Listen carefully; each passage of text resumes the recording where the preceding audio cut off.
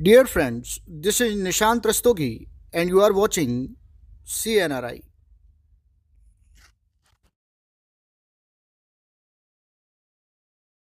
अब इस क्वेश्चन को देखते हैं। क्वेश्चन कह रहा है असरसन रीजन का क्वेश्चन है। आपसे कह रहा है कि alcohols react both as nucleophile and electrophile बिल्कुल सही है।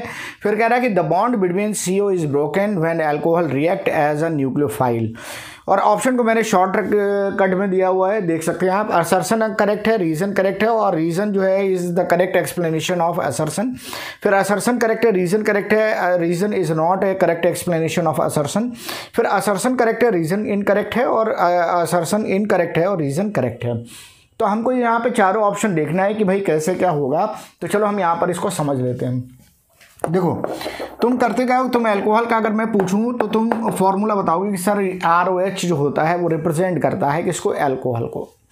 यहाँ पर मेरे पास दो ऑप्शन है कि मैं आर ओ बॉन्ड ब्रेक कर सकता हूँ और मैं ओ एच बॉन्ड ब्रेक कर सकता हूँ। तो चलो भाई, मैंने दोनों ऑप्शन का यूज़ कर लिया। पहले मैंने ये बॉन्ड ब्रेक किया तो ये हो गया प्लस एक फ़र्स्ट प्रोसेस किया और ये सेकेंड किया तो यहाँ पर सेकेंड अब आप यहाँ पर देखो, अगर आप आर ओ का बॉन्ड ब्रेक करोगे, यानी कार्बन ऑक्सीजन का बॉन्ड ब्रेक कर रहे हो तो उस केस में क्या होगा? उस केस में ये होगा कि बॉन्ड जो होगा, वो मोर इलेक्ट्रोनेगेटिव एलिमेंट की तरफ़ शिफ्ट हो जाएगा। इसका मतलब है कि आर के ऊपर प्लस चार्ज आ जाएगा और ओ OH के ऊपर माइनस आ जाएगा। अब ये क्या दिख रहा है? ये क्या दिख रहा है? तो ये आप कहोगे सर, हमको ई e प्लस दिख रहा है। ई e प्लस दिख रहा है तो मतलब किसकी तरह एक्ट करेगा? इलेक्ट्रोफाइल की तरह। किसकी तरह एक्ट करेगा? इलेक्ट्रोफाइल की तरह। अभी हम इसकी एक रिएक्शन भी देखेंगे, उससे और थोड़ा क्लियर हो जाएगा। अच्छा अब मान लो मैंने सेकंड में ब्रेक किया तो सेकंड में आप क्या कर रहे हो? ओ और एच के बीच बॉन्ड ब्रेक कर रहे हो तो फिर से मोर इलेक्ट्रोनिगेटिव की तरह चला जाएगा। तो इसका मतलब है कि आर ओ पे माइनस आ जाएगा और एच पे प्लस आ जाएगा। अब ये किसकी तरह दिखाई दे रहा है? तो ये एन यू माइनस की तरह दिखाई दे रहा है। इसका मतलब ये हो गया कि ये न्यूक्लियोफाइल की तरह एक्ट करेगा। बात समझ आई ना? तो आपको यहाँ पर क्लियर हो चुका है कि अगर आप सीओ बॉन्ड को ब्रेक करेंगे तो ये न्यूक्लियोफाइल की तरह एक्ट नहीं करेगा, बल्कि इलेक्ट्रोफाइल की तरह एक्ट करेगा।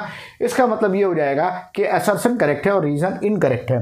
तो असरसन करेक्ट रीज़न इनकरेक्ट तो A option C sorry C option जो होगा, इसका करेक्ट ऑप्शन हो जाएगा। रिएक्शन में देख लेते हैं।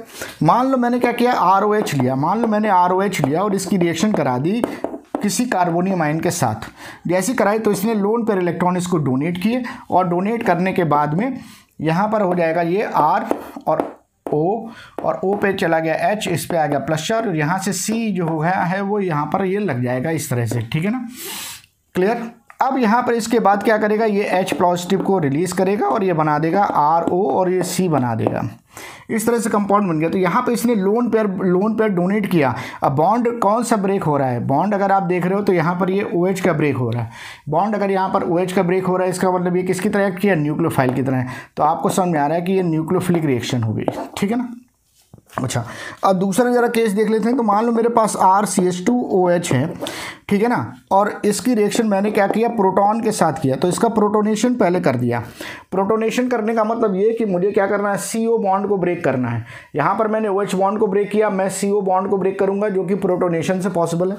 प्रोटोनेशन किया, इसने लोन पेयर इलेक्ट्रॉन इसको दिया और देने के बाद ये बन जाएगा आर सी एच टू और ये बन जाएगा ओ एच टू पे प्लस चार्ज आ जाएगा। सही है ना? अब मान लो कि मुझे कोई हेलोजन लगाना था एल्कोहल से एल्काइल हेलाइड बनाना है, ठीक है? तो यहाँ पर मैंने क्या किया, कोई एक्स माइनस ले लिया बी आर माइनस कुछ भी ले सकते हैं तो यहाँ पर इसने क्या किया, इसके ऊपर अटैक किया, यहाँ से वाला बॉन्ड ब्रेक हो गया। तो आपको समझ में आ रहा है कि यहाँ पर कार्बोनियम आयन बनने की पॉसिबिलिटी हो गई। इसका मतलब मतलब मैं दिखा दे रहा हूँ कि कार्बोनियम आयन बना होगा और फिर एक्स माइनस ने इसके ऊपर अटैक करके बना दिया आर सी एच टू और ये एक्स बना दिया एल्काइल हेलाइड बना दिया। आपको बात यहाँ पर समझ में आ गई कि ये जो है, वो इसके ऊपर प्लस चार्ज आ रहा है और ये क्या कर रहा है? ये इलेक्ट्रोफाइल की इलेक्ट्रॉन की तरफ़ भाग रहा है इलेक्ट्रोफाइल की तरह एक्ट कर रहा है। तो यहाँ पर ये न्यूक्लोफाइल की तरह कर रहा है बट यहाँ पर ये क्या कर रहा है? इलेक्ट्रोफाइल की तरह एक्ट कर रहा है। अब आपको ज़्यादा क्लियर हो गया होगा, ठीक? तो यहाँ ऑप्शन सी जो है, वो करेक्ट ऑप्शन हो जाएगा।